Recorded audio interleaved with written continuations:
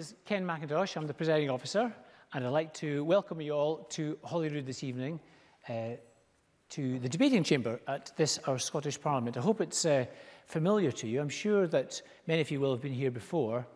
Uh, I think it's actually become a very familiar place for virtually everybody in Scotland these days, which is quite remarkable when you think that it's 20 years ago exactly this month that the first elections to our new Scottish Parliament took place. A new Scottish Parliament, I still remember, and I'm joined by a group of fellow 99ers, as we're known. Uh, I still remember that sense of excitement, the optimism, the anticipation uh, that greeted us, the sense that we're going to offer a new kind of politics. And I hope that's what we're going to explore tonight. We're going to talk about the, the principles on which the Parliament was founded openness and accessibility, accountability, the sharing of power, and the promotion of equal opportunities. And it's for you, not just for our panel, but for you to perhaps give us your thoughts and views and questions about have we lived up to these principles? Are we still practicing them? And what can we do uh, to do better for the people of Scotland? I believe actually we're uh, joined, in fact, I think so over here, some of the early, the members of the consultative steering group. I can see, yes, here, Esther, is Joyce and Andrew be here as well, but they're not, but there are some members here as well. And uh, uh, but we've got a distinguished panel to, to uh, answer to us. And also, uh, we're doing this um, presentation uh, in conjunction with Times of Scotland. And I'm, I can see Kenny Farquharson. I, just, I was looking for you, Kenny, around the audience. Uh, this is a Festival of Politics event, but we're doing it in partnership with the Times of Scotland. And if I can, Kenny, I'll bring you in to ask a couple of questions maybe uh, later on in the, in the evening. But I'm delighted to uh, introduce our very distinguished panel this evening. So starting uh, on my right, uh, Annabel Goldie, now Baroness Goldie, uh, who is now a government whip in the House of Lords, but uh, for us was a, an MSP here, Conservative MSP from 99 till 2011, and a leader of the Conservative Party. 16, 2000. Till 16. I've taken five years off your service, Annabel. Hello. Uh, and a leader of the Conservative Party in that time. Robin Harper, um, who uh, not just led the Green Party and was an MSP here from uh, uh 99 to 2011. 11. Good. See, I'm going to have to get my dates right here. 12 years. Yes, I know. It's age. It's 20 years. But was the first ever Green parliamentarian elected in British history. Uh, a claim to fame, which I'm sure you're very proud. Yeah. Uh, and uh, on Robin's immediate left, George Lyon, who not only was uh, an MSP colleague, uh, a Liberal Democrat representing Argyll and Bute and part of that first uh, coalition government as a finance minister and as a business manager. That's one of the people who, whose job it is, is to organise um, the MSPs and get them to vote the right way or otherwise. Uh, but also went on uh, to serve in Europe as an MEP, just in case the B word comes up tonight. I'm going to throw the questions. And now Tricia Marwick, who served for the SNP uh, from 2000, from 99 as well till 2016, also served as a business manager, also served on the corporate body, which is the body that governs the running of this building and the, um, the, the support network that we need to actually keep the place functioning. But perhaps is still best and most affectionately remembered as our first and only woman ever elected as presiding officer here in the Scottish Parliament. And last but not least, Henry McLeish, who, as well as being, uh, and still is very proud to this day of being one of Scotland's first ministers, a, a claim which I think we're, we're all uh, very envious of, Henry. But more than that, you were an MP in Westminster, and as, as an MP in Westminster, was a devolution minister, so was actually responsible for putting through the act that brought about devolution, for which I'm sure you're also extremely proud. So, ladies and gentlemen, our panel this evening.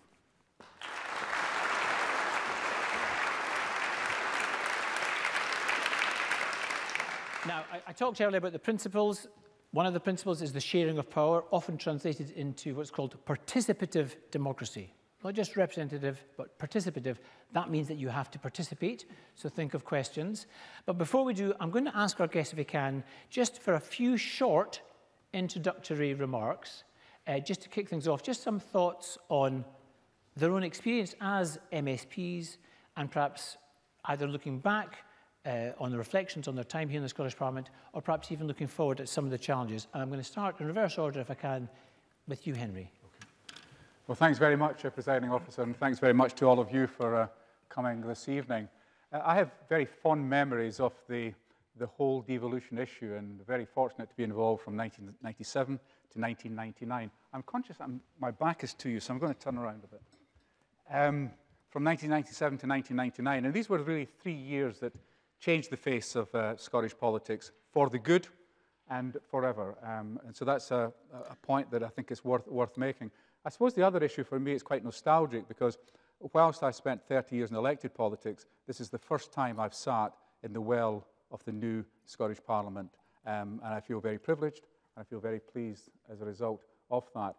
My early recollections are that um, when we, 20 years ago, when the Parliament was established, there was a great sense of pride, great sense of occasion, great sense of history, great sense of excitement, enthusiasm, whatever good emotion you wanted to describe, it, it was there. And I do believe that when we've got 20 years, it is a celebration. There will those who rightly will be able to criticize, rightly be able to say it could have done this, it could have done that. But all in all, when you consider that Westminster has been on that site, not necessarily in parliamentary terms, but in administrative terms for nearly a thousand years, we've only been here for 20 years. It's the start. And I think that augurs well uh, for the future. And the final point I'd make in the opening remarks is that parliaments are essentially legislatures, and that's what they're there to do. This parliament has become the voice of Scotland, it has become a platform for Scotland, it's been a focus for issues. And whatever the political party, this is where we debate them. But, ladies and gentlemen, the key issue for me is the fact that since um, 1999, we've passed something like 280 pieces of legislation. Now, people who are against legislation might frown at that. But when we were in Westminster, we had one piece, one and a half pieces, two pieces per year. Scottish interests were not being dealt with. Scottish interests had to wait in a very long line. But once they had the Parliament, we've been able to tackle some of the big issues, whether it be land reform, whether it be health, whether it be education. And in that sense, I think all, everyone from every party has made a huge contribution to that. And as I said, this is merely the start. And I think the best days of the Parliament are certainly still ahead. Tricia, I think I saw you in the paper the other day talking in very similar terms about how the Parliament has become embedded in Scotland's public life. I think that's really important to say that um, I tell the story in the run-up to the Scottish um, Parliament elections where um, I was working for Shelter Scotland at the time um, and I was an SNP candidate and I was invited to um, a panel session with the Scottish Council for Voluntary Organisations, SCVO, And on that panel, I can remember quite vividly Sarah Boyack was there, but I can't remember who else. So one of the questions that we were posed was, what difference is a Scottish Parliament going to make? And I told the story of um, when I worked for Shelter, that whenever we wanted to see the MPs, we had to go down to Westminster. There was a cross-party group on housing, and we had to all go trot down to Westminster to see them, uh, maybe for about half an hour and there was about one debate a year on housing at Westminster, Scottish housing. That was what there was. So I was asked what difference it would make, and I would say, well, the first thing is that we can make legislation in our own Scottish Parliament. But the second and the most important thing of all is that half the population of Scotland is within an hour's journey of the Scottish Parliament. And even if we wanted to, the new MSPs will never be able to escape. And I think that is absolutely true.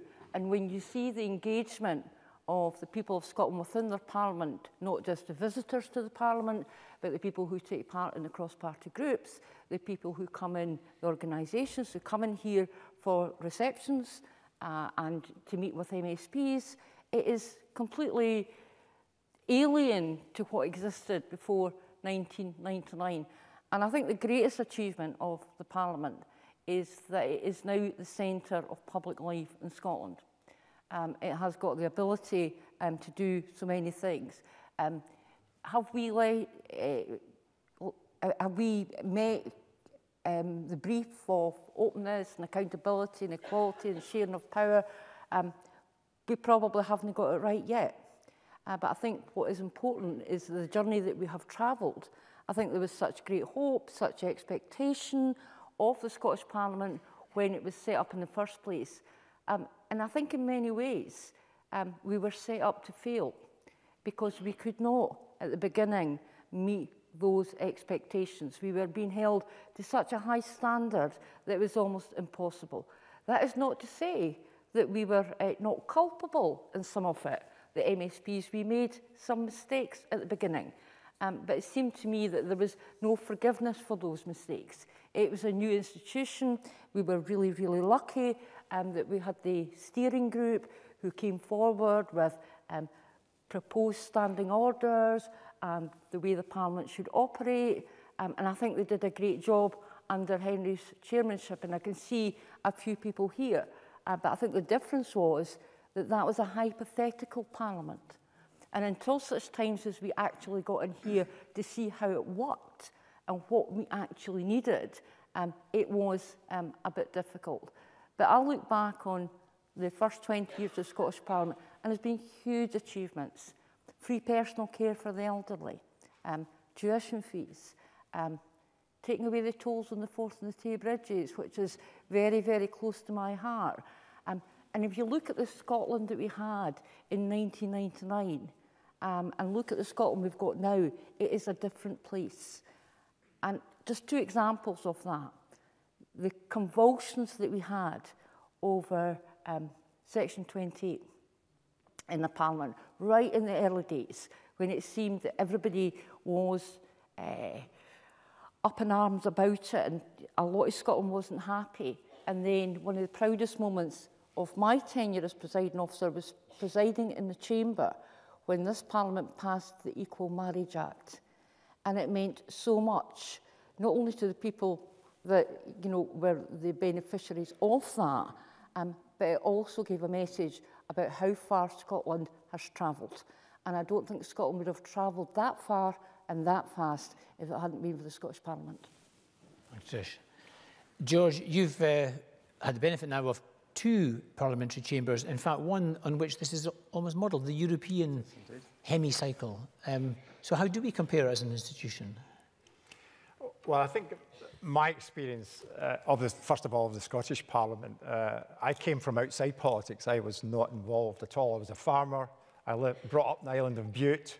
Uh, I had all the challenges of, of living in a, in a rural uh, area, trying to run a business and trying to create employment. And then I became involved in lobbying through the National Farmers Union. And the biggest difference the setting up of the Parliament did uh, for rural Scotland, I think, is it brought us much closer to the decision making, as uh, Tricia said earlier on. You, you had to travel to London uh, if you were involved in trying to get decisions about how your future political direction for your industry would go, is either London or, or Brussels. Uh, and the setting up of the Parliament brought the islands closer to the seat of power uh, because uh, it's not quite an hour's drive, right enough from where I live to here, but compared to going to London, it's still much more accessible.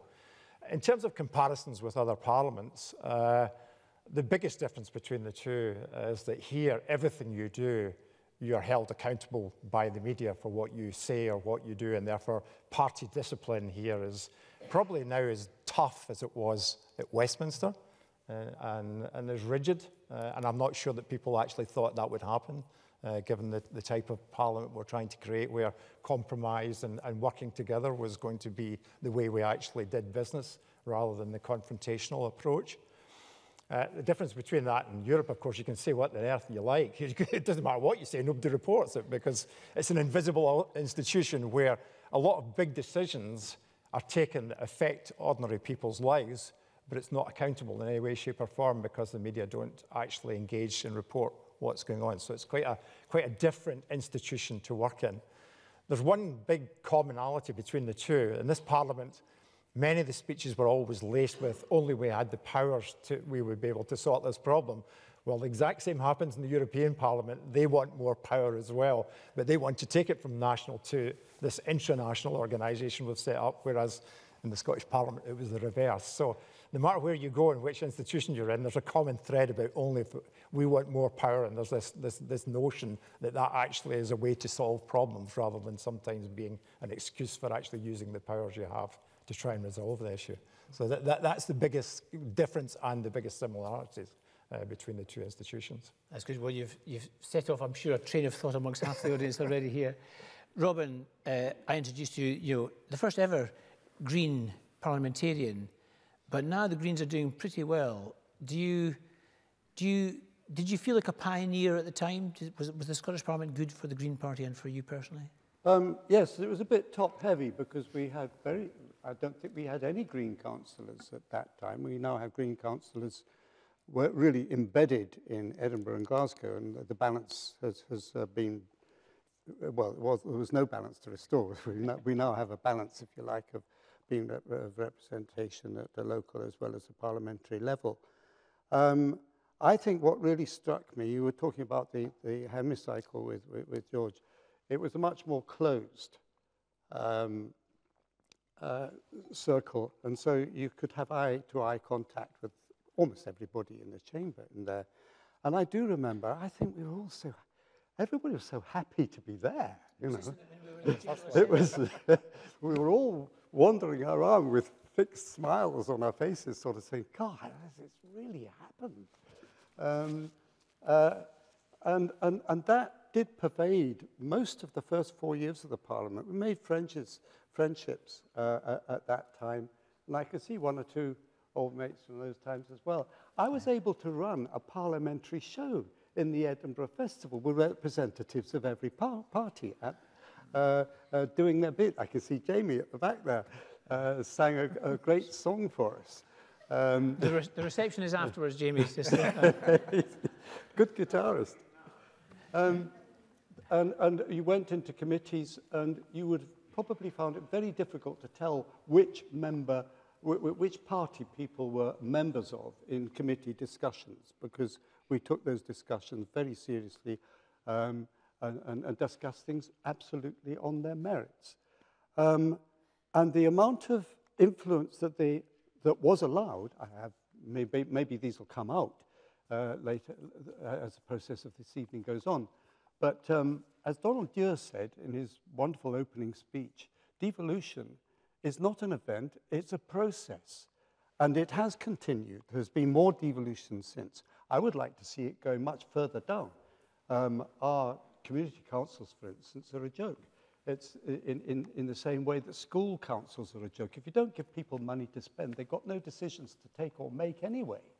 Um, and that's what happens in far too many school councils and far too many community councils have a little bit of money, just a pickle peckle um, uh, uh, of money. There could be more de devolution there, and we'd have a stronger democracy all round because people would be involved um, at their very local levels in decision making. Mm. Um, I could go on and on about that, but there, there is one thing I'd like. Can, can I just finish on, course, on one thing to give you an idea of how open the Parliament was?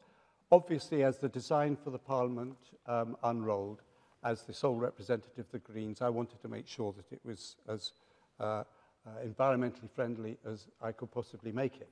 Now, um, one of the things I continued to do is uh, uh, work with the Scottish Ecological Design Association. At that time, I managed to get four architects together with me, we sat in front of the design people, the people from, um, oh, the, the um, contractors. Ramjam, uh, RMJM. Ramjam and, and um, the, the, the builders. And we had two hours with them, quizzing them. And, and that, that was it was just me, you know, backbencher, just one person in one party. But that was the amount of access that you could get to um, working with people where you needed to ask a few questions. Thanks. Thanks very much, Robin. And uh, I'm just conscious that the, one of the aspects of the problem is the budget has grown, and it's now well over 30 billion. Uh, I'm trying to work out what a pickle peckle is in 30 billion. So, how we, a pickle. Annabel, um, it's strange to think of it now, but in 99, the Conservatives were at, uh, at a low. And uh, in many ways, the Scottish Parliament was actually, and the voting system was actually very good for the Conservative Party. Would that be fair to say? Uh, yes. Um, I think low is perhaps charitable. Um, sinking through the floor seemed to be my recollection of the, of the times. And I was looking, Joyce, at you, and I remember being in a debate, and Joyce McMillan ate lumps out of me during this debate. And I thought, golly, is this politics? And am I really wise to be standing for this parliament? And, you know, Robin, I may not have been in your party, but I do remember coming here. Green was how I felt, absolute rookie. And I thought, this is, this is tough. I mean, it's exciting and it's, it's, I think we all felt we were part of history, part of history in the making. And it was an extraordinary sensation, a great privilege to feel that. Um, but we also had a sense of, of burden, had a sense of responsibility. As I say, we were, I always remember going into asking someone where the ladies' loo was. And I went in, and here were all these ladies of different political background. What were we interested in? I like your lipstick. Where did you get that foundation? You know, and immediately there was a kind of bond of a sort of amity. Um, and I think that actually was one of the features of the Scottish Parliament. That in a sense, although party political differences were there and, and party politics was important in the democratic function of the Parliament, you know, there was a sense that we were actually a political community of Scotland and very, very proud to be that. Very proud to be that.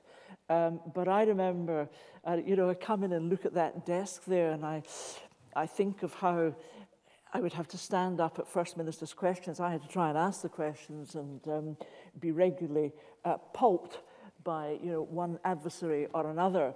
Um, but there was also a huge sense of, and I think you referred to it, Robin, this immediacy, that there were very important decision makers just sitting along from you in the form of the Scottish Government, and yet we were close to them in terms of access, we were close to them in terms of discussion, um, and one of, the, one of the features that struck me forcibly about the Scottish Parliament was the accessibility. The accessibility for the, for the public, um, for people who wanted to access politics, whether they came as visitors to visit MSPs, whether they came as witnesses to committees, you know, whether they came as spectators to watch the proceedings as they, as they um, unfolded. It was, it was, and I believe still is, one of the most accessible parliaments you will find, and I think that's hugely to its credit. Right. Well, thank you very much for these opening remarks. Now, that phone going off has just reminded me, uh, not just to switch my own off, actually to get out because uh, this um, uh, programme has been broadcast actually and we're also taking questions on social media. So I'll be taking the odd uh, remark here. But um, this is now, we're now open to questions. Um, and so anybody that wants to catch my eye, just put your hand up. Or, and uh, I've noticed quite a few former colleagues in there. Oh, look at that. Richard Simpson straight in with his hand up there. So anybody that wants to catch my eye, uh, please do so. So I'll take Richard Simpson and then I'll take the gentleman at the back there. Richard. Two, two quick questions. In the first parliament, we had a part of the European system. We had reporters. And uh, when I came back in 2007, having been out for four years, the reporter system had disappeared. And I wonder if the panelists felt why, knew why that happened and whether it's a good thing or a bad thing. And my second question is, I think the media did give the Parliament a real kicking in the first term, uh, and I just wonder if the panelists felt that that was the case, uh, and whether they feel it's sort of settled down over the time that they were in. A couple of good questions there. Tricia, I'm going to turn to you simply because uh, I'm not sure if any of us know why the reporters were less used, but uh, I know that um, as presiding officer, you introduced a series of reforms, including uh, some to committees which, um, some of which are still to be implemented and which are still in, in discussion. Um, do you have any comments to make about the role of committees and the way they worked and the way they still work? The committee system here was set up to be a hybrid of the standing committees and the select committees at Westminster. Um, and the, um, I think the jury's out about whether that has been the most effective way of doing it. I don't think so.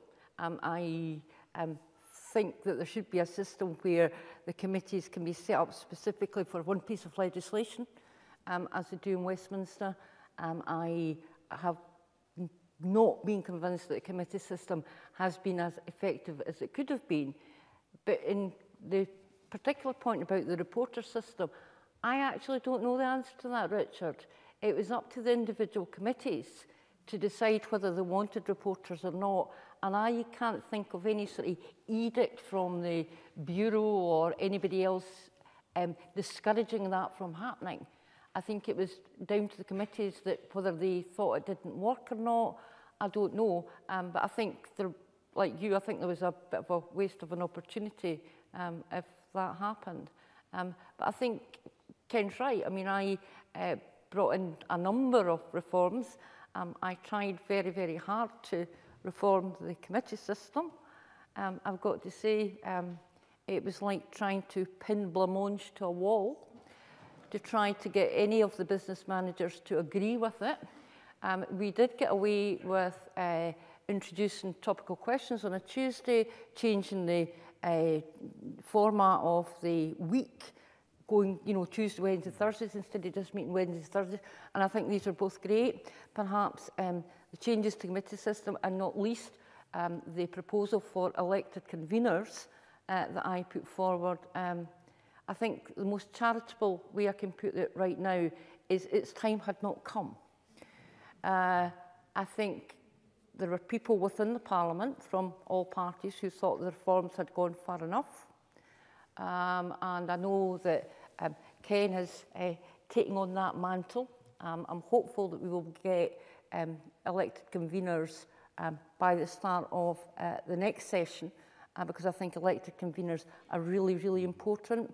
Um, they um, show that uh, it gives a message that the conveners are elected by the Parliament and not just simply appointed by their political parties. And I think when we talk about um, sharing power and openness and uh, accountability, I think that is one piece of unfinished business uh, that needs to take place. I wonder, Henry, if I could also bring you in this, just because uh, the point that Richard makes, that, that there was going to be this new style of working in the, in the Scottish Parliament. Now, you'd experience, you've experienced the Westminster style, and there is a lot of, and not everyone will be aware of this, but there, the, the government at Westminster has a lot of powers of patronage, lot of paid positions. Uh, it's interesting to note that since the Scottish Parliament was set up, Westminster has reformed and they've now got elected conveners. It's made a difference. So have you any thoughts about that, the, those contrasting styles, having experienced them both? when the work of the Constitutional Steering Group was essentially to look at Westminster, and not for the sheer hell of it, but try and devise something for Scotland that would overcome what we perceived as some of the problems there.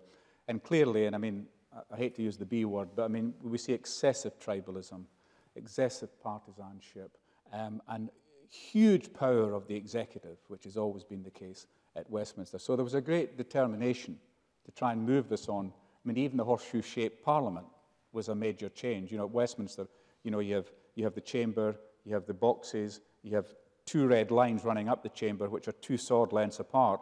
So in the early days, if you didn't win by discussion, you could take them outside and have a sword fight. Um, you know, so all of that was to be pushed into the background, um, and I think it significantly worked. Although when you talk about the rapporteur, the European, it was really part to Europeanize our parliament and the way we do things. Because I'm a great believer in the idea of coalitions. I'm a great believer in the idea of consensus.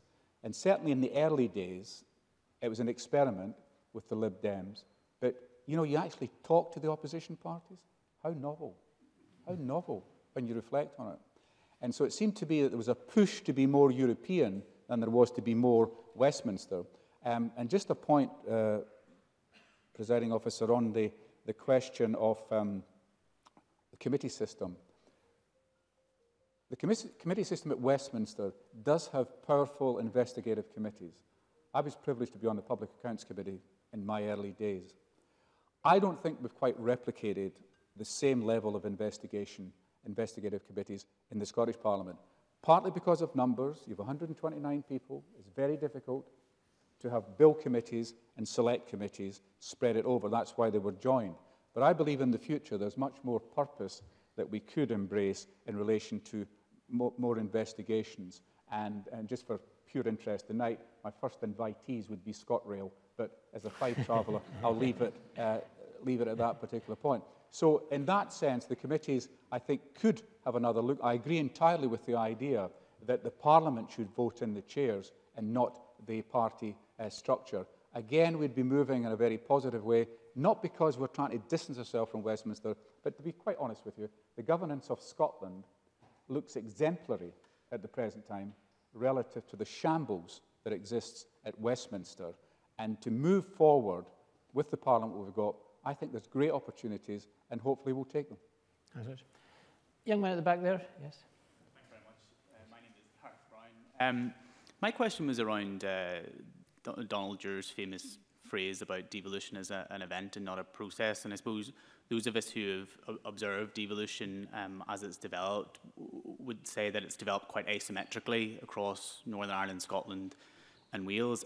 I suppose given that one of the, uh, among many other reasons, one of the, the, the core tenets of devolution was that it would, uh, I suppose, appease nationalist sentiment in, in Ireland, Wales and Scotland, has that asymmetry with hindsight had the opposite effect and actually fragmented the concept of the union and the unionist identity in the UK? That's a, a huge question. I think the one that, that many people ask about, you know, has, has devolution encouraged a certain direction of travel or, or worked against it? Annabel, can I just bring you in on that, on that very point? And I think it also, it's something Robin touched on as well, but perhaps centralisation and localism. But do you think that is, is the United Kingdom a different place because of devolution? But is it actually, actually now moving in a totally different direction and fragmenting? I can see why, uh, from one perspective, you might, you might think that. I actually have a feeling that with the global world in which we live, you know, where um, it's very important, I think, that individual um, constitutional entities have influence, whether that is Scotland with its devolved parliament, Scotland as part of the United Kingdom. I actually don't think devolution has threatened the union. I think what devolution did was it gave people a confidence that they could address a lot of domestic issues locally in Scotland, and I think have, you know, have been doing that to um, very good effect. Now, there will be different views as to the policies and the politics of what should be applied in that scenario, but I think if you have that confidence to deal with domestic issues, you know, you you can feel at ease with a constitutional structure where you are part of a, as we are part of a partnership of, of another four nations. And um, we don't know what lies ahead. Certainly the last independence referendum in Scotland, when people were given the choice, they decided to stay with the existing constitutional structure. We do not know what lies ahead. I mean, no one will be surprised to hear that I, I think the union has a value and I think it's something that's worth supporting, that it um, delivers benefit. Others will dis disagree with that. But um, I don't think of itself, just because we have devolution, that of itself is a threat to, to the union. Um, I think what may be a greater threat to the union is whether voters feel impotent, um, marginalised, um, uninvolved, disengaged.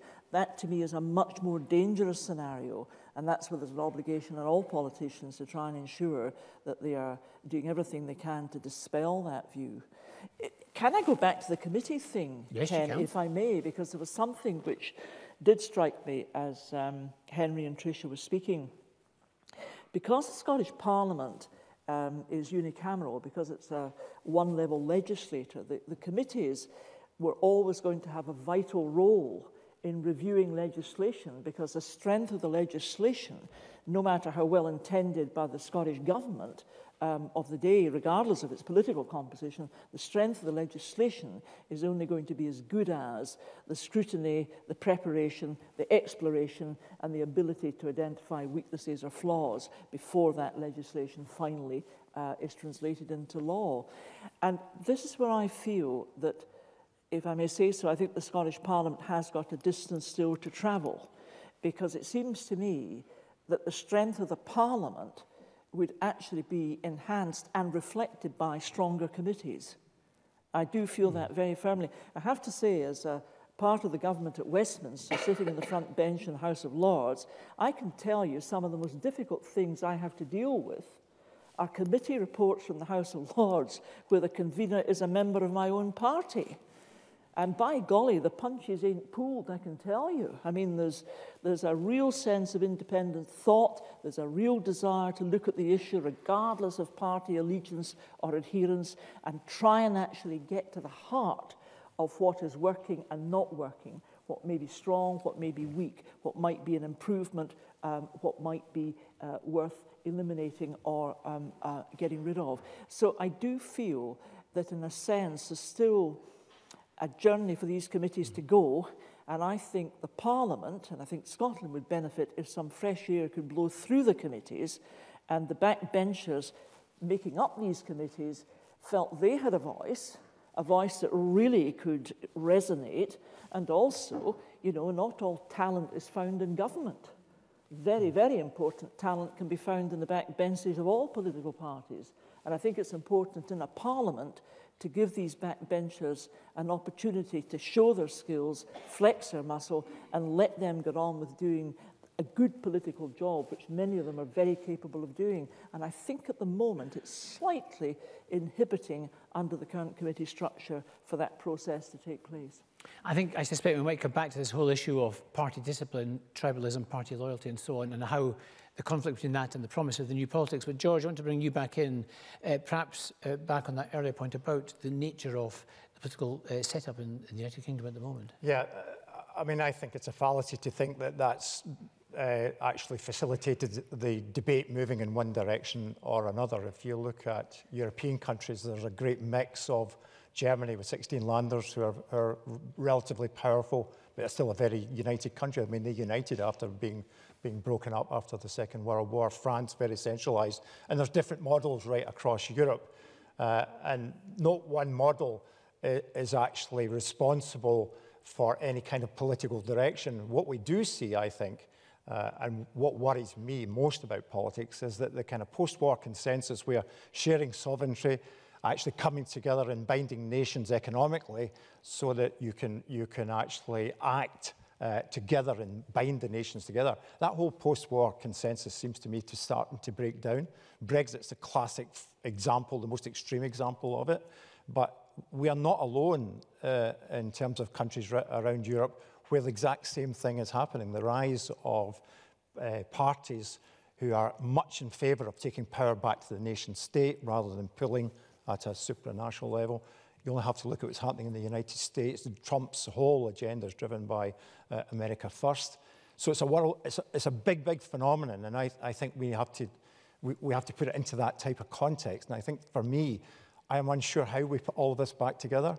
We're about to have a European election, and I suspect that the populist parties could well be the official opposition in the European Parliament. The Socialists and the EPP will not have enough uh, numbers to actually form a governing majorities, which is what usually happens in, in the European Parliament. So it's that whole sort of worldwide pulling back from actually, it's actually about sharing power, sharing sovereignty is the right way to make sure that we prosper, that we deal with problems.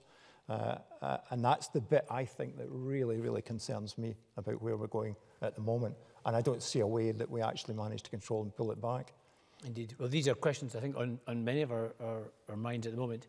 Um, Ken, if you've got any thoughts, just catch my eye and I'll bring you in. It's, it's all been quite gentle so far. And uh, I know you've also been writing very supportive columns.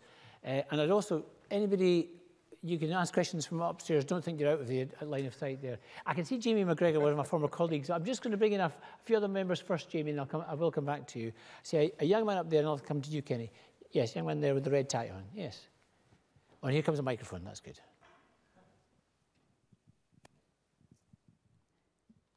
Hi. Is it on? Um, my name's Ryan McShane. I'm a member of the Scottish Youth Parliament currently, um, alongside my colleague Liam. Um, one of the main, um, biggest um, successes we've had is um, implementing sort of votes at 16. And it was just to get your views as a panel, if you think that's been successful in influencing young people to come into politics in Scotland. Votes at 16, yes, one of the, one of the again, the bigger changes that have taken place here. Anybody want to contribute first? Henry in first there. Just, just to agree, I mean, it makes no sense that uh, we shouldn't give 16-year-olds the vote in every election in the United Kingdom and in Europe. Um, and there's a big debate in the United States just now about, you know, in, in the aftermath of school massacres and a whole range of bad things that are happening in the US about young people getting involved. Strengthens democracy. And now people say a 16-year-old doesn't have the experience, doesn't have the knowledge, doesn't have the brain power. Hey, I meet a lot of people as old as I am, and they've maybe not evolved either. so I think that, uh, that position is not sustainable, not tenable. So I think it would be good. It would be a shot in the arm because, you know, millennials, young people generally, there's so many issues, including climate change, which is so understandably to the fore just now.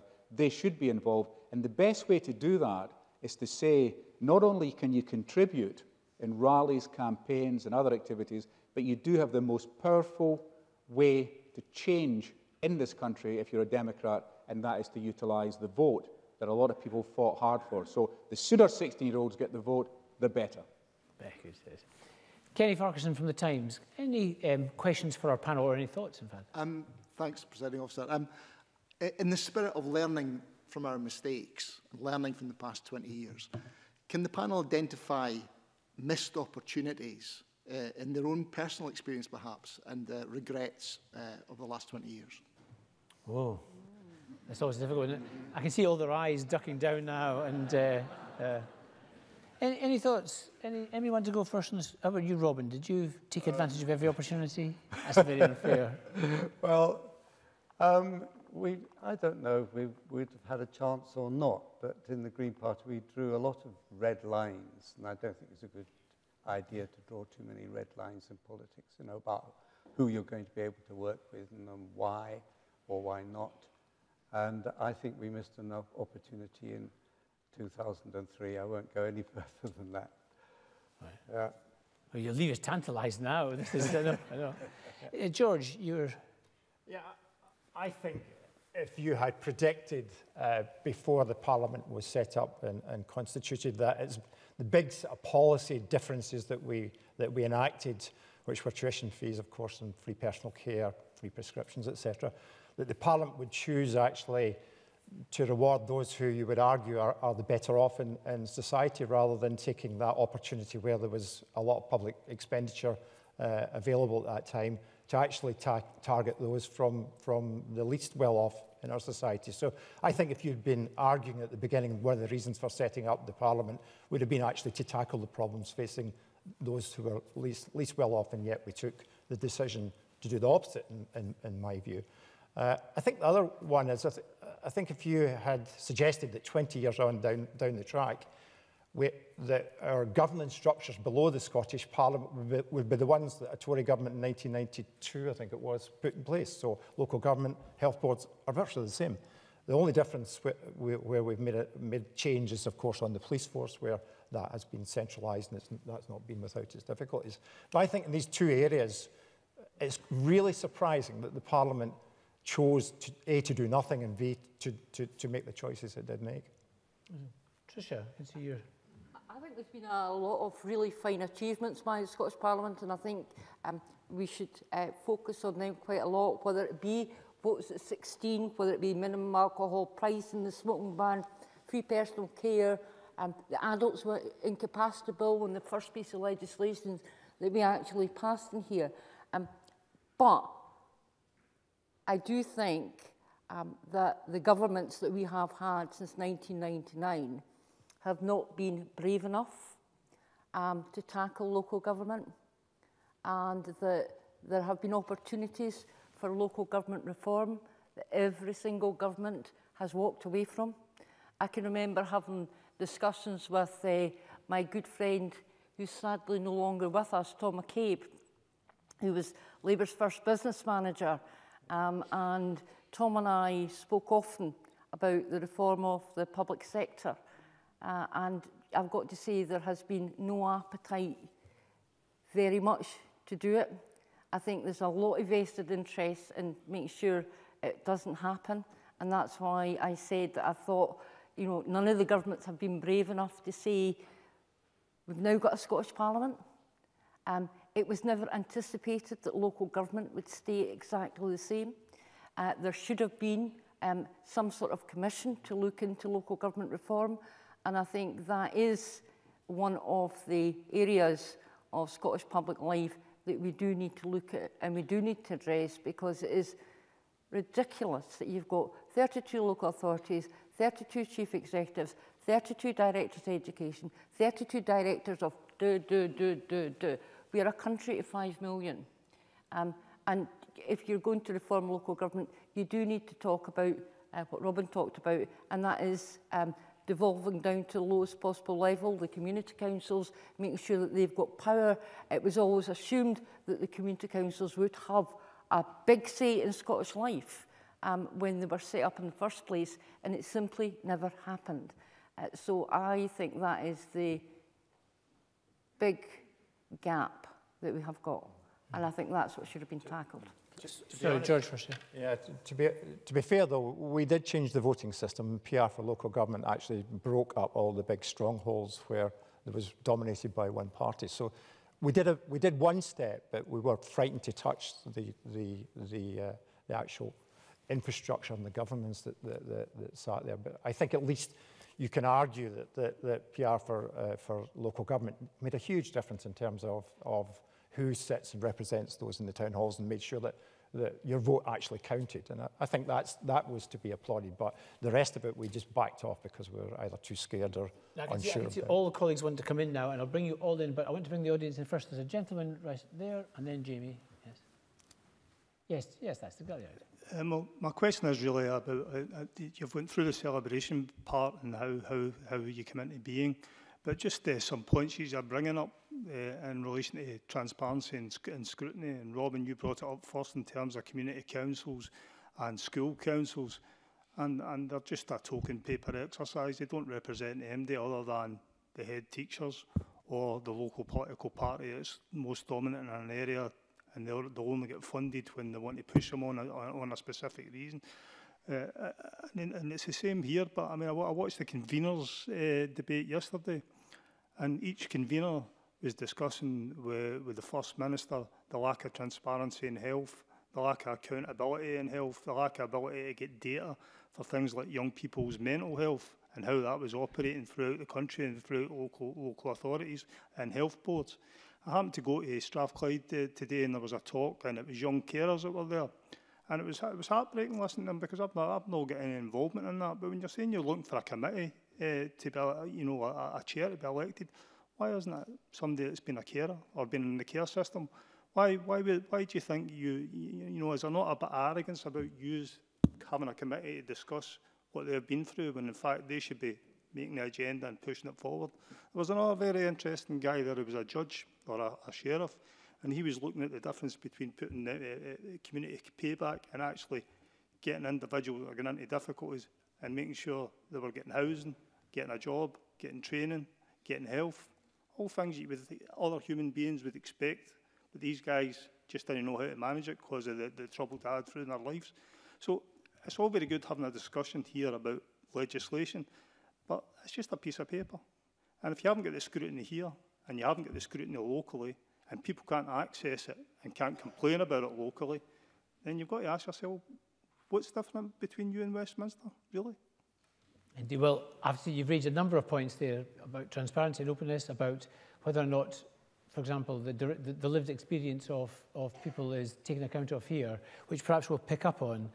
I can tell you, just, just speaking for somebody who's still a parliamentarian, that the committees are still very, very actively engaged in trying to hear directly from the people whose, uh, whose lives are shaped by the public services delivered or, or, or, financed by this Parliament and the laws shaped by this Parliament. So there's an attempt to listen to those voices.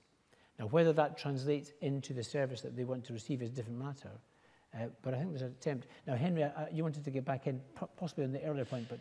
Yeah, but a, a comment on that. I mean, my concern is a genuine one about local government. I mean, I was the leader of Fife Regional Council in the 80s. Um, it's kind of maybe a purple patch for local government, but I think there's a crisis in local government. There's a financial crisis, there's a crisis of confidence, there's a crisis of identity. And the point you make is, I mean, I'm no great believer in strengthening alternative to local government through community councils and school councils. I think there are people capable of running communities and running schools that don't need to be elected or participating. And unless we take seriously local government, it is diminishing in its confidence in the way it goes about. And it's not just about money. And one of the reasons why I think we're flailing a bit is because um, we talk about a constitution. Now, the UK doesn't have a written constitution. Scotland, at this point, doesn't have one either. So what is the function of local government and how important is it regarded in our, in our society?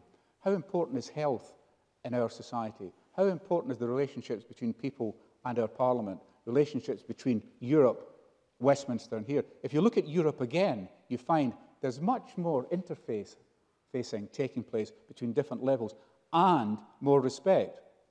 And I believe that one of the problems we've got is antipathy. And I was a Westminster MP, um, uh, I was in local government, was in the Scottish Parliament, And at every level, there is not the same trust, respect, understanding that there should be to create a more uh, healthy environment. But what I just wanted to say was Kenny's point about, um, you know, he was asking about, well, couldn't it be done better or what should we have done? Um, and let me be radical here, um, Kenny, and say that when we started the Scottish Parliament, the thinking about the Scottish Parliament from the convention, there was this notion that we'd have a list system, which is a form of PR, but we'd still have first past the post. That never produced natural, long lasting coalitions in the way that I'd like to have seen them. So, one of my ideas for the future, and I have to say it's only an idea in my head, is that why don't we go for electoral reform, scrap the first past the post, and have Scotland's Parliament elected on a major change in line with much of what's happening in Europe? Now, it is only an idea, but to try and overcome the point that I think as a Parliament, we have to want consensus. We have to want coalitions. And look, 95%, 96% of everything that happens in here, most people agree with. But the politics of tribalism can end up as exploiting the politics of difference. So we will fight on the 4%, but we will agree on the 96.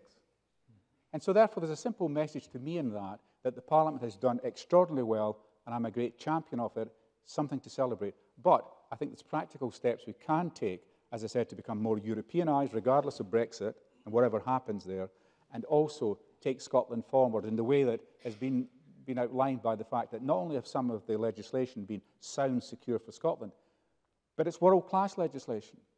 The Parliament put through the ban on smoking in public places, the fourth country in the world to do that. That should give us impetus to be more ambitious, more assertive, maybe more aggressive.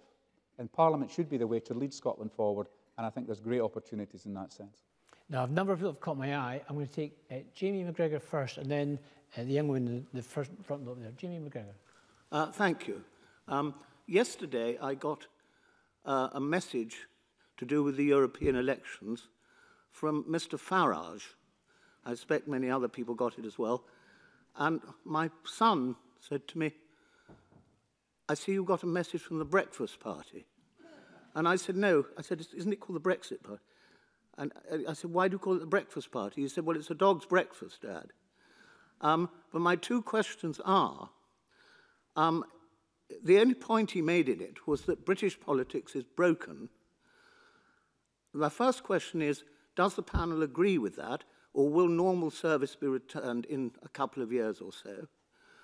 And the second point is, if the Scottish Parliament had to deal with it, would it have been much more effective or would the same thing have happened?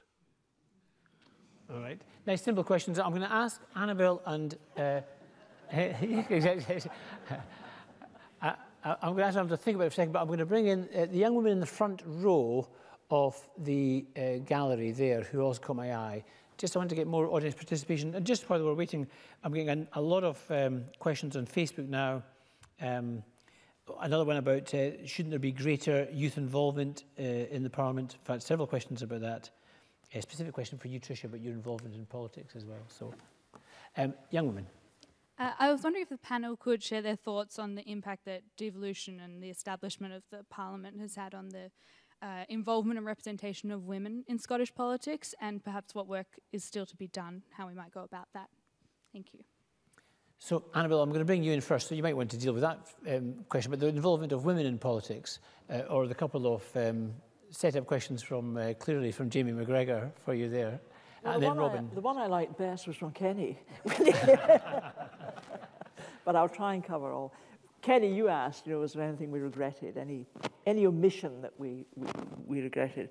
Yeah, in my case, I regret greatly I did not join the Scottish Parliament Weight Watchers Club which was um, attended by a number of colleagues to very good effect. And uh, it is a salutary instruction to me to learn from what others are doing and not be afraid to do that. If I may go to the young lady, first of all, about um, women's representation. I mean, the whole, one of the founding um, aspects of this parliament was it should be family friendly, that it should be constructed in a way that it did not uh, prejudice against or militate against women being part of it. And I think I'm correct in saying in the first election in 99, we had a very good female representation. I can't remember the precise percentage. 48. Was 48 it 48? women, 37% representation. Yeah, and, and it was a very creditable performance indeed, and it did suggest that the, the sort of architecture of the, the parliament, not the buildings, but the architecture of how the parliament should be designed and how it was meant to function was perhaps having uh, an effect on that. I know there was a dip in subsequent elections, and then I think it went back up again. So um, it's not something I think we can ever take for granted. I think um, I think some women um, will naturally um, want to have a voice, be good at having a voice, and will find out a way in which to use that voice. And we've had some very, very fine examples of that in this Parliament from all parties over the last 20 years. Um, but there may be other women who still feel inhibited, and I think there's maybe still a job to be done about how we reassure, give confidence, educate, and uh, it's partly for the political parties to do themselves. Um, but I think in the whole, we've got quite a good story to tell. You know, we've got Nicola Sturgeon, female First Minister. Tricia was the first female presiding officer. Um, a number of female leaders of parties up here have been produced. So um, a good example, good example, and I think encouragement for other women, but not something that should ever leave us taking it all for granted because that will not work and we can't take it for granted. Um, the really big question from, not implying the other questions weren't big questions, but the testing, the perplexing question from Jamie McGrigor, um, I have to say that Brexit has been one of the most um, divisive issues I've known in my whole life, whether in or outside politics. And as many of you will be aware, Brexit has divided families, it's dividing parties. Um, it has proved to be an issue uh, around which it has been very, very difficult to uh, get any form of, of consensus as, as Henry was, was desirous of seeking. Um, my own view is that, um, and I was a Remainer, I voted remain, but you know, if you say to people, we're going to give you a say and we're going to listen to what you tell us, you know, I think there's a huge obligation to get on and deliver that. I really do. And I think that what we're seeing is uh, disillusion by the public in politicians across parties, I have to tell you. Um, and certainly down at Westminster, there has been a constant um, demonstration of um, anger and frustration by both sides of the argument, um, with placards saying that politicians are denying them what they want on the one hand, and on the other hand saying that politicians are betraying the country and, and we should remain. And this is proving to be a very, very difficult issue indeed. Now, um, time is going to, I think, um, ensure that one way or the other something happens, one way or the other. My impression is that the country is crying for the thing to move on in some fashion. And um, I think once that has happened, um, and, and we cannot tell what's going to happen in, in the House of Commons. Um, when the House of Commons took control of the business schedule of the Parliament and said, look, we're taking control. We're not letting the government now run the business of the Commons. We, the House of Commons, will take control. You know, fair enough, but they were unable to agree on anything. Um, so that is a measure of the sort of paralysis we're in. It's not good for the country. Um, I don't think it's good for people's morale, and it's certainly not good for um, the integrity of politics. It's, it's, it's, it's very damaging to it.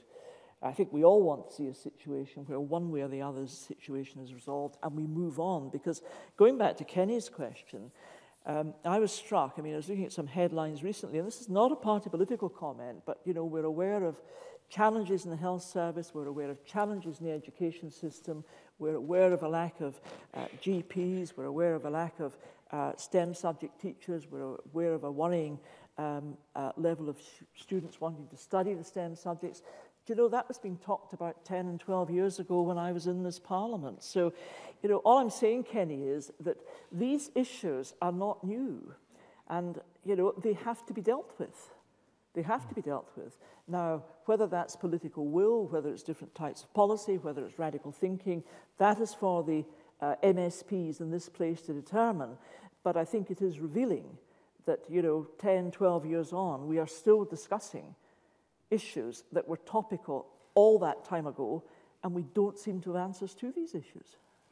I think, Annabel, um, Robin, oh, smash of applause there. But, um, Robin, um, I just want to bring you in because although um, the, the first question was set up there about the, the, um, uh, the possible breaking up of the current system, but in many ways, certainly breaking up a dominant two-party system has surely been a, a, for the benefit to hear of the Green Party and other voices, Lib Dems and others, to hear that multiplicity of political voices in Scotland. So do you think of what's happening now as that fragmentation as a bad thing or actually a good thing, an opportunity for, for Green politicians, for example, to meet their mark?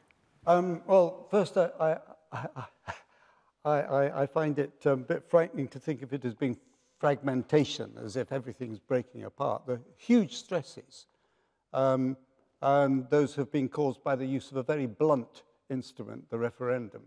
And I think we need to take a look at how we go about referendums. Uh, 51 to 49% divides the country. Um, perhaps we should say that there should be a higher point in a referendum, like 60% of the vote, before government has to take notice of, it. Uh, um, that's, that's, that, that's the first point. The second point is that British politics have, I think, very successfully managed um, our present and our future for a large number of years through um, uh, most parties, or all parties have their, their left, right and centre, and these sort of move together and where we find the answers that people are, can tolerate are where the, the centres of those parties collide, if you like, and, and we get the decisions that take us forward. What's happening now is that extremist populists um, are commanding um, people's attention in a way that they haven't done for very many, many years. I do find that frightening. I find that very dangerous indeed, um, that uh, the politics of assertion, um, this is something, you know, um, when actually there are very little in the way of facts or evidence to support what they're saying. Um, so this, this, I'm sure, can be addressed. But I think the mistakes were made. Should, we should never have had a referendum uh, for a start uh, on leaving Europe. Um, that, that was a, a dreadful mistake. Uh, but the other mistake was that um, Westminster, uh, bless their cotton socks, um, don't take the further away you are from Westminster, the more likely you are to be ignored. And that's why we wanted our own parliament. Um, and that's why the people in the north of England are so dissatisfied and so fed up with things as they are at the moment, that they have reacted in the way they've done as the only way they have in their armory of taking a kick at Westminster. George, I can see you want to get in. I'll bring you in in a second. I, I'd also just comment, um, just following up on your point there, Robin, that um, uh, uh, without wishing to be overly controversial, the Scottish Government is about to publish a new referendum bill uh, very, very soon. So it's, it's, it's not certainly off the political agenda. Now, for a question about women MSPs, I'm very conscious. I can see Irene Oldfather, Margaret Smith and Mary Scanlon, three of my colleagues, our colleagues, uh, and Mary Scanlon had her hand up to ask a question. Mary. Yes, I, I, I did actually. I was quite struck by Henry when he mentioned over 200 pieces of legislation, but it was the gentleman in the second back row who really uh, hit home when he mentioned the young carer And, and that's, he, he, he expressed a view that I feel about very strongly. Uh, I, I was here for four sessions of Parliament from 99 to 2016, and it was one piece of legislation after another. It just kept churning and churning out. So probably I was part of well, I, countless pieces of legislation, but I spent about one day, one morning, doing post-legislative scrutiny on a minor, minor part of the mental health bill. And also, if I may say, uh, presiding officer, uh, three, four of us here were on the free personal care uh, bill in the first session of Parliament. This was our convener. And uh, afterwards, it was the implementation of that. And I think what we believed was being implemented and passed in legislation was not how it was be implemented by local government. And quite often in uh, Parliament, you would say, well, what about this and what about this? That'll be done in guidance.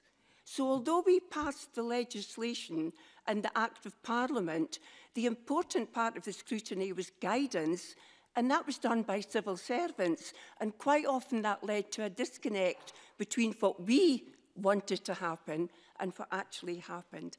I just wanted to put that in because uh, this gentleman's comments really hit home. I can see that. And I can see, I don't know if I was to, before you do, I actually want to bring in Esther Robertson if I can, Esther. Uh, and Esther, in case you know, was sat on the original consultative steering group that devised the principles on which this parliament is founded and which this discussion is uh, premised. Esther, you would make a point.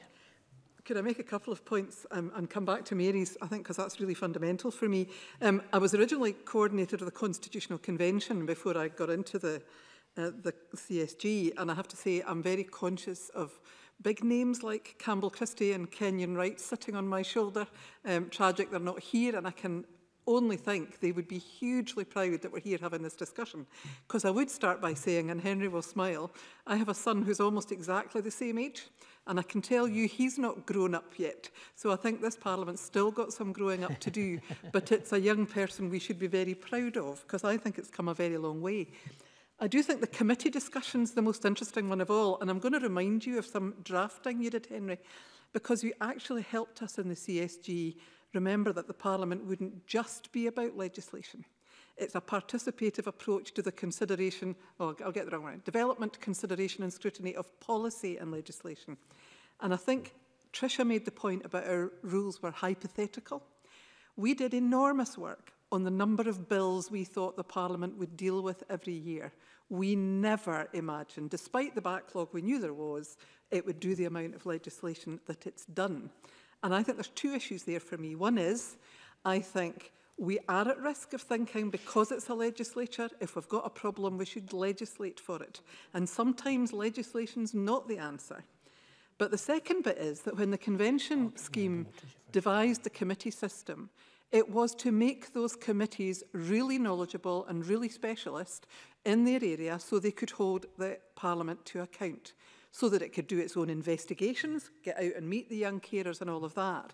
But because of the volume of legislation, they've not had the time to do that. And I think that's been one of the challenges. I like to think that legislative process will slow down a bit and we might step back from it. And I think picking up Mary's point, one of the things I was frustrated by was that we thought that the, the committees would start at investigations of their own, They would do the consideration of government, they would scrutinise legislation, and they would do the post-legislative scrutiny.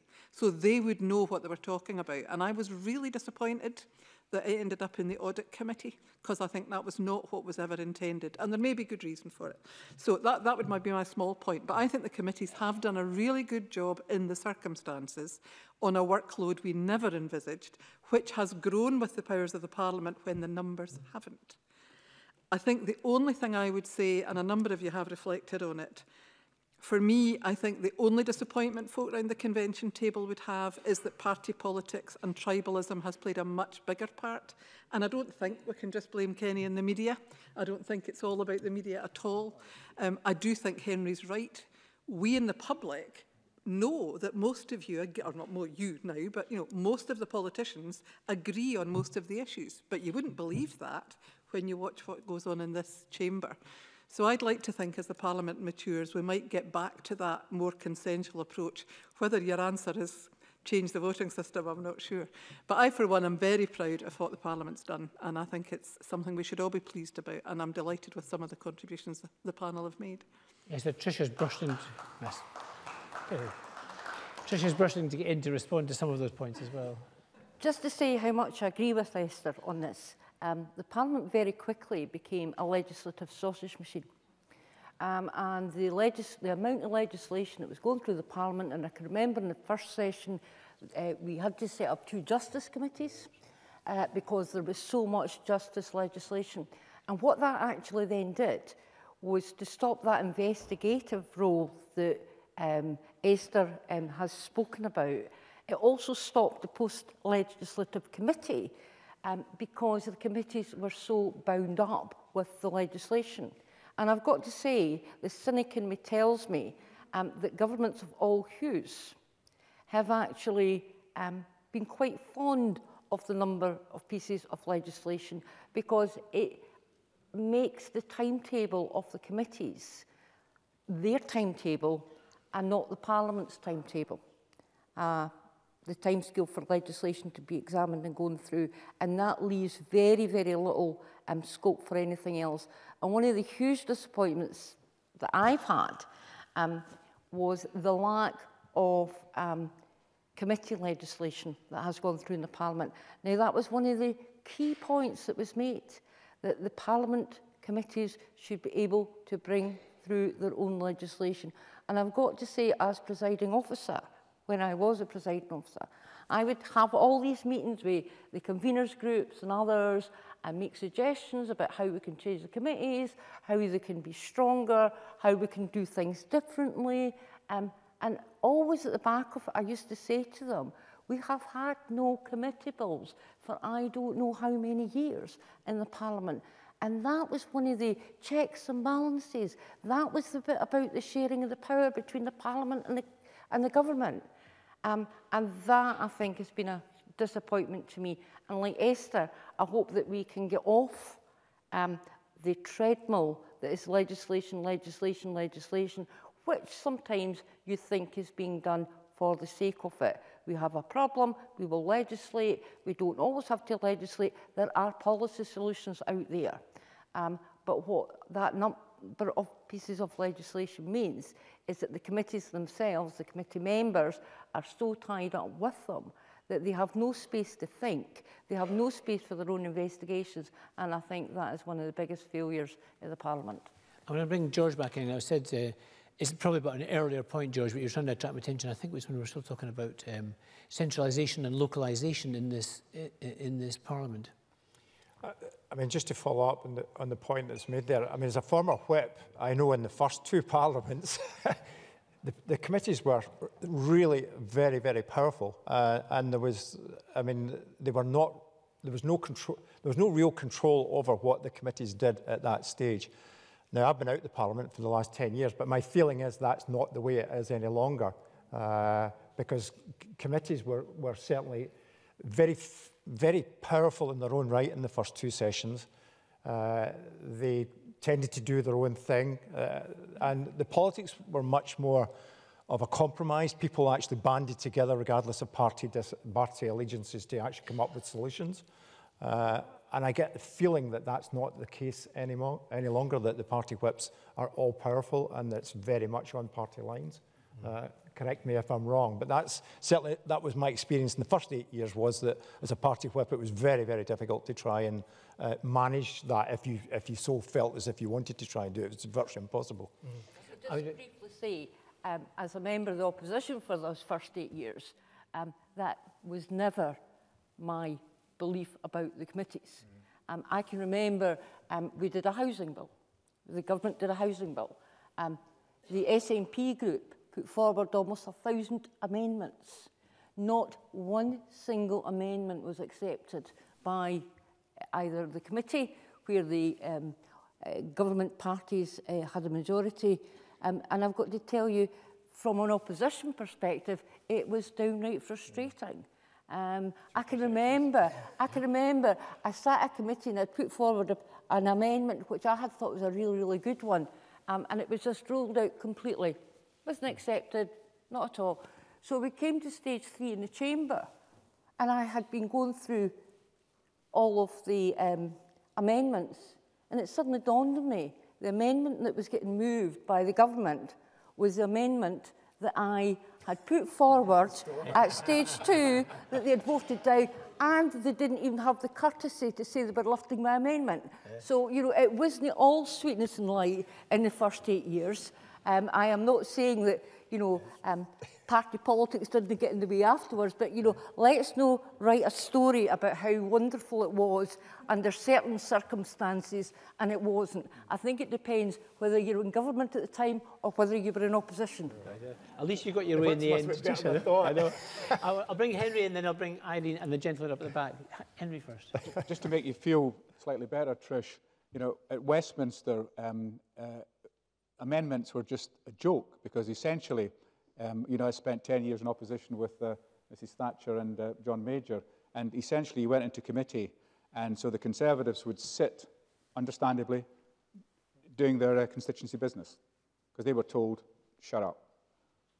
We put up umpteen amendments, and of course, no opposition amendment was ever accepted.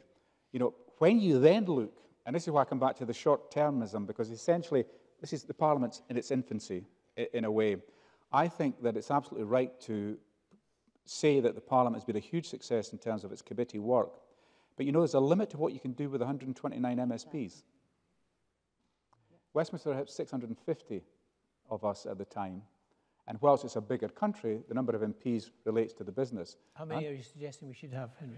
Well, watch this space. Um, and that's why I feel that if we're looking seriously at giving more authority to our committee members, more investigative work, more time on the job, more ability to review legislation, then you have to think quite seriously about where the numbers of the Parliament might be going in the years that lie ahead. Now, whether it's independence or whether it's federalism or status quo or home rule or whatever you call it, this Parliament now has a lot of choices to make in relation to how I think they're elected, but also to be fair to them, a lot of fantastic work has been done, but you cannot keep pouring you know, a quart into a pint pot because essentially something has got to give. So I feel that we should be more ambitious in the way we look at these things. And the other point about it is they're only ideas.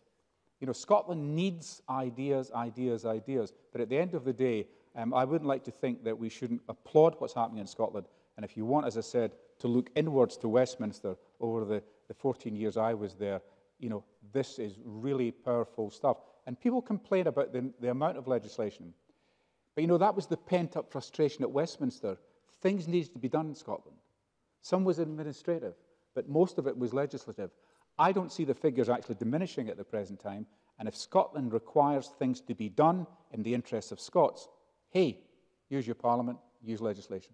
We've got hands going up all over the place now, so I'm going to take uh, Irene Oldfather, and then there's a gentleman right up at the back row. So Irene first. Thanks very much. Thanks very much, Ken, and it's been really interesting to listen to this reflection on the committee structure. I had the privilege of chairing a committee, but I also set up and chaired a cross-party group. And I'd be interested in the panel's reflections on the role of cross-party groups within the Parliament, because it seems to me that they provide a huge opportunity. And to pick up the point made by the gentleman in the second row from the back, they're actually sitting round the table, communities, and organisations and young carers are sitting round the table with parliamentarians with a huge opportunity to influence that agenda. And thinking about uh, the cross-party group that the three of us actually worked on, um, the cross-party group on Alzheimer's and dementia, have the opportunity to produce pieces of work, and we did the Charter of Rights, And I'm proud that the two colleagues sitting uh, beside me, who are from different political parties from my own, put their heart and soul into working with communities and people with dementia and their carers to produce that piece of work. So to me, the cross-party groups in Parliament provide a great opportunity. I don't know if there needs to be a little bit of amendment around how they're currently working, but that might be something that the panel would want to reflect on. Thanks, and I'll ask the, the members to think about who wants to respond to that point while I take the gentleman right at the very back up there. Um, I just wonder what the panel feels about how the standard of debate has changed over the last 20 years. Has it improved? Uh, is there still room for improvement? And has the famous horseshoe shape, which Henry referred to, actually encouraged uh, a sort of consensus. Certainly, sitting in the press gallery, it never looked like that. Uh, and I suppose it never will. But I would be very interested to hear whether the actual sort of atmosphere of the Parliament has improved the standard of debate. Very good. We'll have a think with that. I know that Kenny Ferguson was talking about the, the first speech by Donald Dewar, talking about the, the, the, the, the, the voices of the Mearns, the ring, the speak of the Mearns, that's right. Din of the Clyde shipyards. Din of the shipyards and the welders. Well, a new voice in the land, that's exactly it. Now, I'm going to skip generations, if you don't mind me saying so, to a young woman just over here. Yes.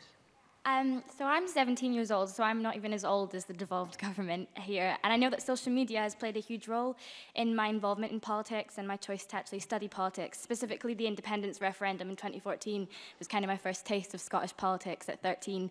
Um, but I was wondering actually what your thoughts were on devolvement and the reflection on then and now and the youth involvement in politics, specifically Scottish youth, um, you know, with pressing issues discussed such as young mental health issues that I'm quite passionate about, or even the scrapping of music tuition, you know, just with discussion of 16-year-old votes um, and how, like, you think youth will have their competence at 16 to, you know, be involved in politics and have that level of knowledge to vote in politics at 16.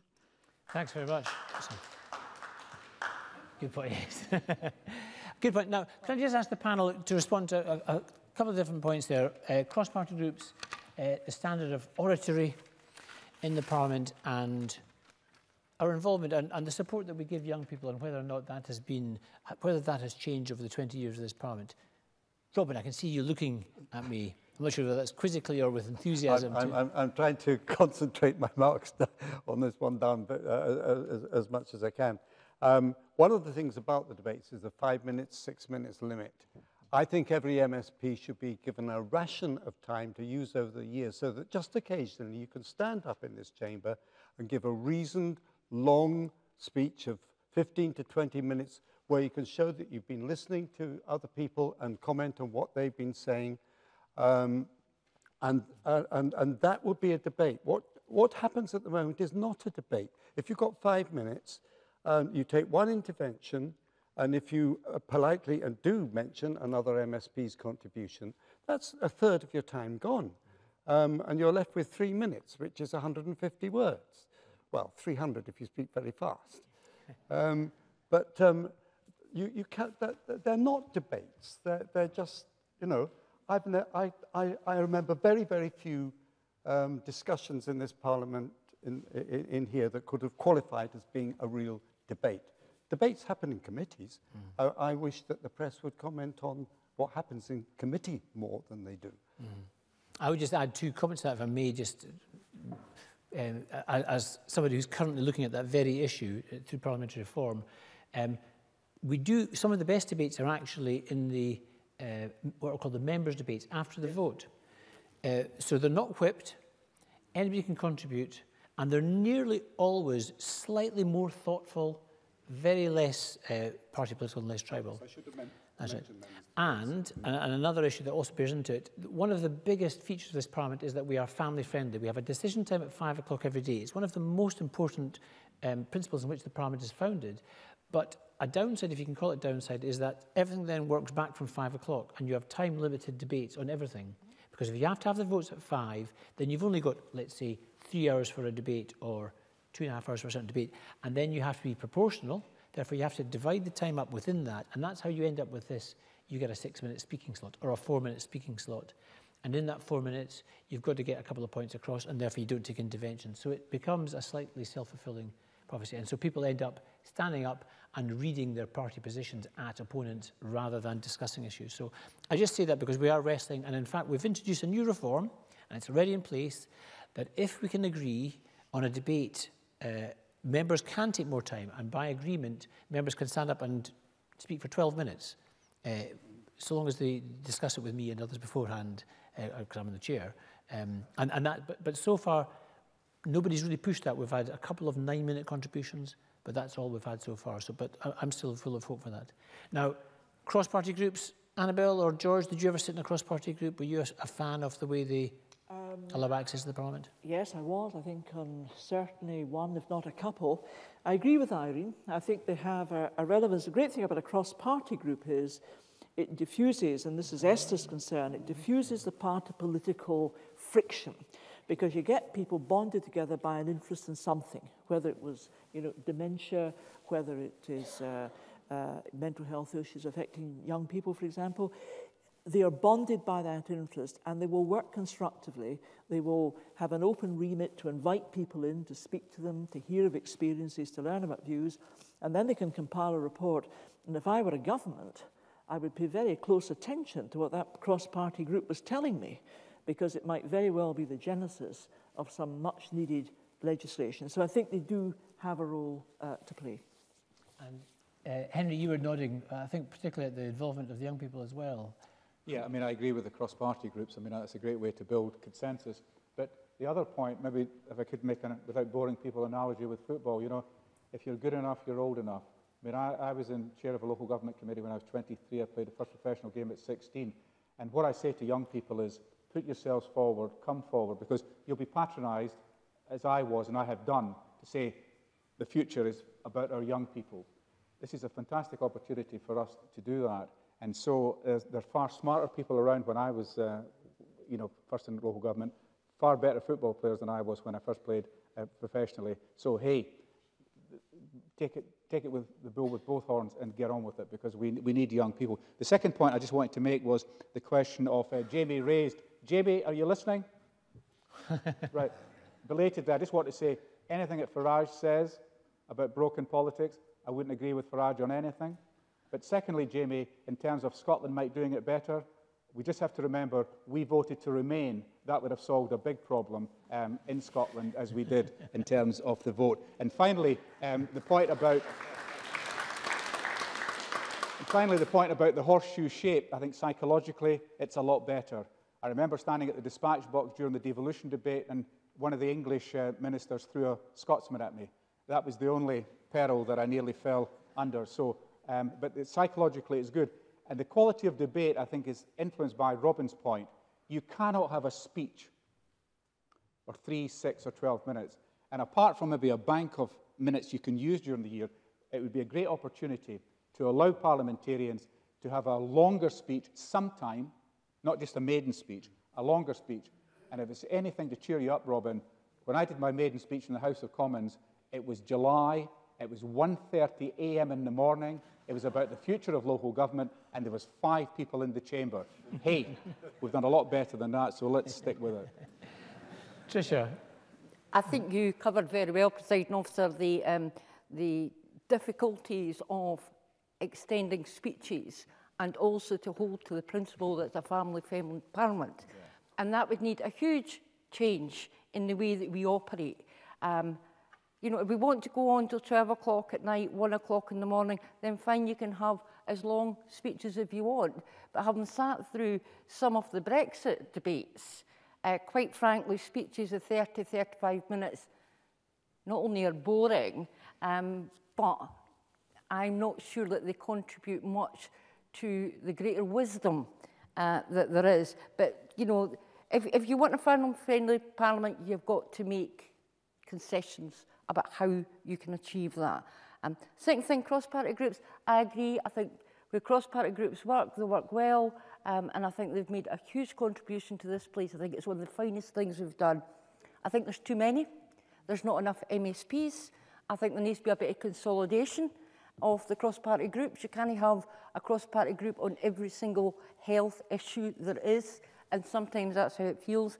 In terms of young people, I think I want to mention two things. Firstly, um, I don't think we've even talked tonight about our Public Petitions Committee, which was, you know, a world leader um, in what we did, or the electronic voting, we were so ahead of it. Mm -hmm. But one of the other things that we did that is rarely spoken about is that at the very inception of this Parliament, we had an education centre. With an education centre up the road, we've got an education centre built in here, we've, we've got trained teachers, we've got youngsters from all over Scotland who come in here, they engage in their parliament, they learn about their parliament, they meet with the parliamentarians, and I think that's been fantastic. And we've also had, almost from the beginning, the Scottish Youth Parliament, which runs in parallel to this parliament. And they have had some great campaigns. They have been really engaged. Um, I think we are not perfect. I think votes for 16 is a huge leap forward. Um, I agree with Henry that we need to have votes at 16 in every single election that we have. Um, but I think we've come an awful long way um, and we are far further ahead than I think most parliaments throughout Europe or the world. Thanks, Tricia. And George? Yeah. Sorry. on the issue of, speeches, I mean, I look back fondly having six minutes to speak after uh, experiencing the European Parliament, where the maximum length of time was two minutes, and it was through interpretation. So six minutes was, uh, sounded to me, a really luxurious amount of time. So, and I think if you actually think back to some of the big contentious debates around free personal care, myself, a good number of uh, Irene, Margaret, etc., um, uh, uh, Mary Scanlon all took part in that. It was a hugely powerful debate, despite the fact we were only limited to four or five months. The fishing debate was another one, uh, massively powerful debate. So I'm not convinced it's only just about the time. It's actually about the subject. It's about how uh, motivated the politicians are to express themselves And you find that in very, very uh, big debates of where there's real contention, you actually find that politicians are uh, within 45 minutes can actually articulate and make very powerful speeches in favour or against the, the issue that's before us. So I, I don't think we want to get too hung up on time. Uh, maybe the problem is too many bland debates where there's actually nothing at stake. Mm. So you maybe should maybe think a little bit more about that. Indeed. And a final point from Robin. Uh, yes, uh, parliamentary engagement with uh, schools and young people. The cross-party group um, on children and young people is one of the best attended cross-party groups in the entire parliament. At least it certainly was when I was here, and I, I, hope, it's, I hope it still is. Uh, anybody confirm that? I hope so. Um, we also hosted the finals of one of the big debating, schools debating um, uh, competitions. But essentially, this is where schools come in, that schools, our educational system, should be giving young people the confidence, activities in school that give them the confidence to get up and speak for themselves. Comment I made earlier about school councils. If you don't give them uh, a budget, then it's, it, it's toy politics. All they learn is when they go to the head teacher with the discussions they've had, and he says no or she says no, all, all they've learned is that politics does, democracy doesn't work. Um, yeah, that, that, that, that uh, our, our schools really, that there's something, but when they disaggregated the, the regions, um, a whole lot of extra things, or people things taught as extras, like outdoor education, went out the window. Every school in Lothian region had a school bus that took people out had, they had skiing, they had teachers who got time off to ta take kids away. This has all disappeared. And yet everybody knew how fundamentally good outdoor education can be for uh, the development, um, personal development of young people in terms of confidence and getting on with other people, empathy, and all these uh, uh, th things that will make the politicians of the future and good politicians. And I think some of these good politicians are clearly in this room, but I'm afraid, despite I can see Kathpeta and other members' hands going up now, I'm afraid it's not the end of the evening because we're going to adjourn downstairs, at which point um, please grab one of the many politicians either on our panel in the room and over a glass of wine continue this conversation.